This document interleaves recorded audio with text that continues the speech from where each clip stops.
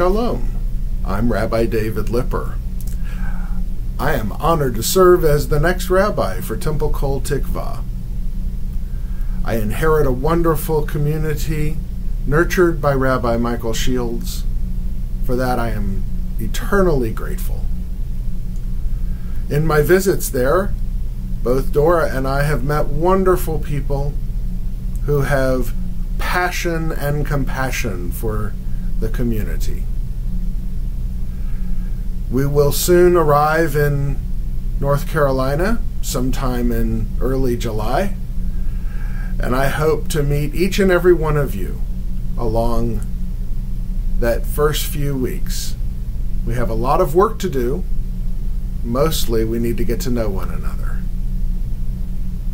So, shalom, peace, and lehitraot. See you soon.